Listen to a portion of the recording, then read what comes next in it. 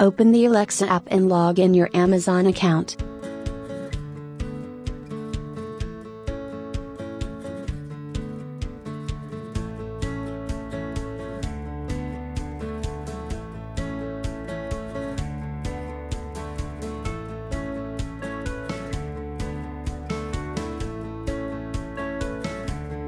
Open the PlusMinus app and click the integration button on the right upper corner, select Amazon Alexa, click sign in with Amazon.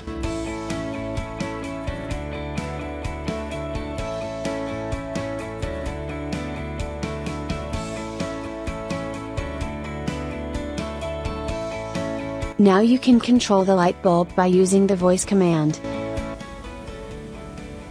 Alexa, turn on the living room.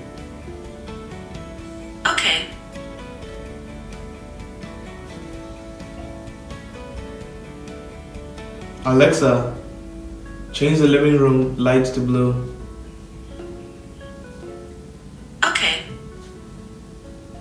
Alexa, change the living room brightness to 10%. Okay.